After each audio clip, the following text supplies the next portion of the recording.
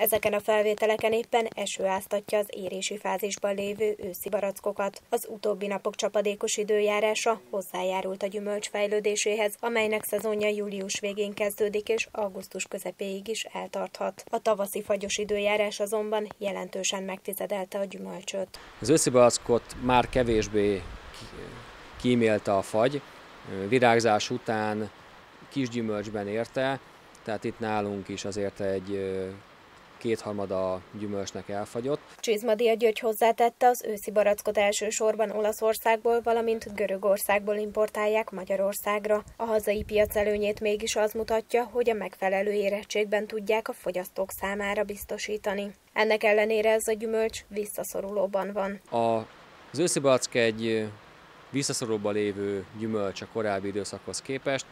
Egy kicsit az emberek már kevésbé szeretik, hogyha folyik a szájuk szélén a baracklé, macerásabb a kajszi barackhoz képest.